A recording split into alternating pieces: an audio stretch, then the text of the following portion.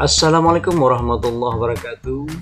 Siswa-siswa SMK Bisa Sekarang kita akan belajar cara menghitung nilai resistor Untuk 4 dan 5 gelang warna. Mari diperhatikan. Cara membaca nilai resistor Di atas itu ada 4 gelang warna Yang di bawah ada 5 gelang warna. Bagaimana cara membaca nilai resistor untuk 4 gelang warna dan 5 gelang warna?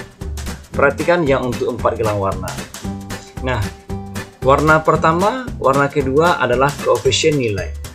Kemudian warna ketiga adalah pengali. Nah, untuk warna keempat adalah toleransi. Oke, coba kita tengok lagi. Perlu diketahui bahwasanya untuk mengetahui mana yang warna toleransi, yaitu warna toleransi itu berada di belakang, yaitu warna emas. Dia tidak mungkin berada di depan. Nah, untuk yang di depan ini adalah warna uh, coklat ya warna coklat. Oke baik. Bisa juga anak bapak melihat dari jarak ya. Jarak toleransi itu berbeda lebih panjang itu dari warna-warna yang lain. Itulah untuk membedakan antara toleransi tersebut. Oke selanjutnya kita akan mencoba melihat bahwasanya sesuai dengan tabel warna bahwasanya warna pertama adalah warna coklat warna kedua hitam warna ketiga adalah merah sedangkan toleransinya adalah emas Nah, warna coklat nilainya 1, warna hitam nilainya 0, warna merah pengalinya adalah 100. Kemudian toleransinya 5%. Baik, kemudian kita coba menggabungkan angka tersebut. Angka 1, angka 0, ditambah 2 buah 0 atau dikali 100, maka nilainya adalah 1000. Dengan toleransi yaitu 5%. Jadi nilainya itu 1000 ohm 5%. Kemudian eh, 1000 ohm 5% yaitu 1000 dikurang 5% dan 1000 ditambah 5%. Nilainya 950 ohm sampai dengan 1050 ohm. Berikutnya untuk resistor 5 gelang warna.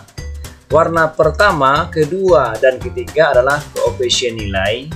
Kemudian warna keempat pengali dan warna kelima adalah toleransi. Untuk toleransi pada resistor 5 gelang warna, walaupun warnanya sama-sama coklat di ujung, itu yang membedakan yaitu jaraknya. Nah, coba diperhatikan. Ya. Warna pertama. Nah, ini akan berjarak itu jaraknya lebih berbeda dibandingkan warna yang lain. Inilah yang toleransinya. Jadi, warna coklat yang berjarak itu adalah toleransi dari resistor gelang 5 warna. Empat gelang warna tersebut yang berdekatan sama jarak itulah nilai itu nilainya. Dan yang berjarak yang terakhir itu adalah toleransinya. Sesuai dengan tabel gelang warna, warna yang pertama yaitu coklat nilainya 1, hitam 0, yang warna ketiga 0 juga hitam, kemudian pengalinya adalah coklat kali 10 dengan toleransi yaitu satu persen. Nah, kalau kita gabungkan angkanya yaitu 1000 ohm 1 persen. Inilah cara cepat membaca uh, nilai gelang warna untuk empat warna dan lima warna. Ayo, mari kita berlatih terus. Selamat belajar.